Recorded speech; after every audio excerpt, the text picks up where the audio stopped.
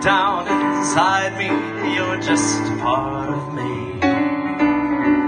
Yes, I've got you under my skin. And I tried so hard not to give in. When I said to myself, this affair, it ain't gonna swing so well.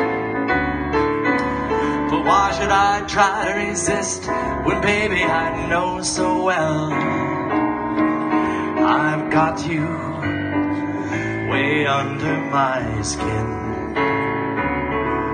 And I would sacrifice anything, come what might, for the sake of having you near, in spite of the warning voice. And your arms and peace in my ear.